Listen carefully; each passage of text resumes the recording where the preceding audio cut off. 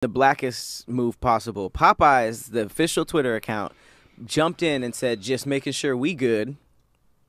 Oh. and the response was, "Nope, Nope. y'all not good. Popeyes food get cold as soon as they ring it up.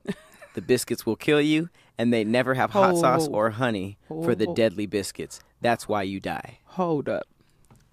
That's the only thing I mm. like at Popeyes. The biscuits? Is the biscuits with hot take. honey. With honey. What a hot take. That's the only thing I like at Popeyes. Tripping. Everything else, Popeyes is disgusting to me. But I mean, I've had this this conversation before, and everybody told me because I put it on Twitter.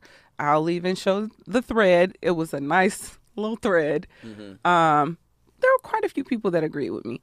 They said that I need to go to Popeyes in New Orleans. Yes, where it I am one of originated. Okay, so oh my god. Okay, I'm willing to go to Popeyes in New Orleans, but as much as I don't like Popeyes here in Los It Angeles, is not even like okay, because uh, Popeyes really need y'all really need to go to y'all other chains and do another training because It's just like It's anything. You go to Philly, you get better cheesesteaks. You go to New England, you get better chowder. Ooh.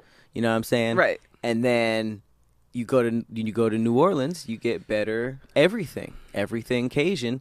And the best part about it is that, oh shoot, the best part about it is that it's a buffet style, and and and it's like. It, it just feels more like southern food. It doesn't feel like a fast food restaurant. Like the biscuits aren't pucks; they're like big, fluffy MFers. so I might have to just make a specific trip to Louisiana to try the Popeyes because Mm-hmm. right now Popeyes y'all not good in my book.